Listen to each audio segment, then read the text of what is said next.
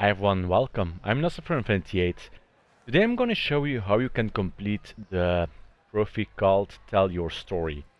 So the first thing you have to do, or have already done, is you go to the shop, right here, and you will have a few um, tutorial missions.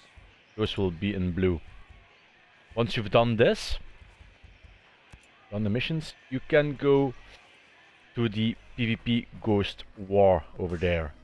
So now we go to that guy.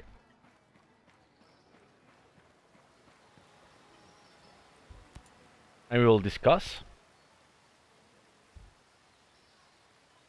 And then you want to take military past.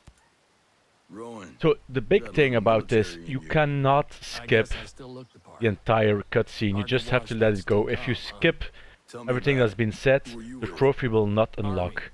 So just let the dialogue come and at the end of the entire dialogue, you will get the achievement. call that a So guys, this was a pretty easy achievement, but you just have to know where to find it.